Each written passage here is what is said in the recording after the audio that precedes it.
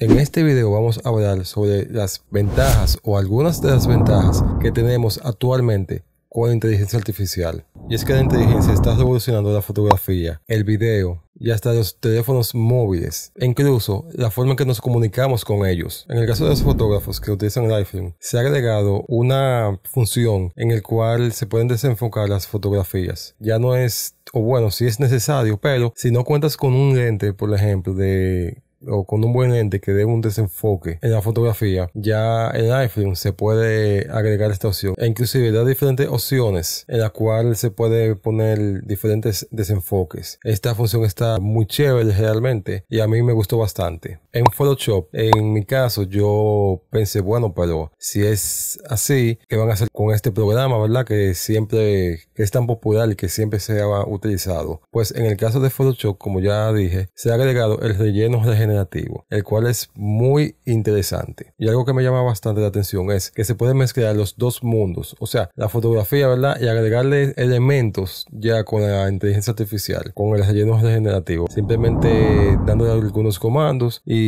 también dependiendo si solo quieres poner la fotografía un poco más grande, pues solamente le da a generar y ella, de acuerdo a sus criterios, va a generar esa parte. Por el lado de los videos, para nosotros, los que nos gusta en crear videos, podemos ya en Premiere, por ejemplo. O en, y en muchos programas ya, así como en aplicaciones móviles, tienen la capacidad para agregar subtítulos automáticamente. En el caso de los teléfonos móviles, hay una función que acaba de lanzar eh, Samsung con el S24, el cual eh, salió con 13 idiomas por la hora, ¿verdad? Por el momento, que cuando haces una llamada, hace las traducciones automáticamente. Korean y yo estoy hablando español, ahí me da las dos opciones. Hello. Sí. ¿Cómo puedo ayudarte? ¿A qué hora abren el restaurante? Está abierto a partir de las 10 de la mañana.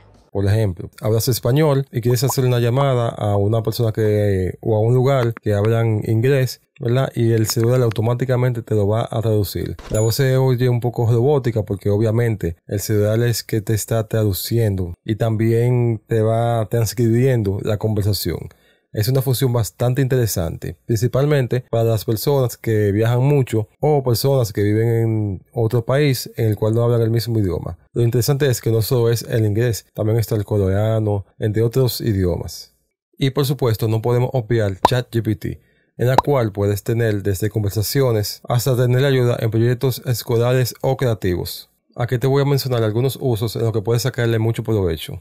Conversaciones de preguntas y respuestas, aprendizaje y educación, escritura creativa, asistencia en tareas y proyectos, exploración de ideas. Como puedes ver, las posibilidades son infinitas. En mi caso, por ejemplo, si hago algún guion, trato de mejorarlo con ella y vuelvo y lo reviso de nuevo para ver si me gustan los resultados. Realmente es bastante interesante. ChatGPT, lo mejor de todo es que podemos tenerlo por el momento gratis a esta fecha todavía. Y para los menos optimistas, aquí tengo una reflexión sobre el miedo al cambio con relación a esta tecnología. A menudo se plantea el temor de que la inteligencia artificial conduzca a la pérdida de empleos, pero como en cualquier cambio histórico, la adaptación es fundamental. En el pasado hemos visto cómo la humanidad ha superado sus miedos y se ha adaptado a nuevas tecnologías. La clave está en estar abiertos al cambio y aprender de la tecnología que nos rodea. Ahora, la pregunta que te hago, ¿estás listo para aprovechar esta revolución tecnológica? Bueno, en cuanto a la inteligencia artificial realmente, porque revolución tecnológica entiendo que ya tenemos años con ella. Siempre, ya como he dicho en otros videos, lo que tenemos es que aprender de ella, aprender los diferentes usos o el área en que nos interesa, porque no solamente es computadora, que Lightroom, eh, que Photoshop, eh, videos o seguridades, por ejemplo, ¿verdad? La inteligencia artificial la tenemos en muchas áreas en el cual podemos aprovecharla. Recuerda que la adaptación es la clave para prosperar en un mundo en constante evolución. Gracias por acompañarme. Si te gustó, asegúrate de darle like, suscribirte y dejarme tus comentarios. Hasta la próxima.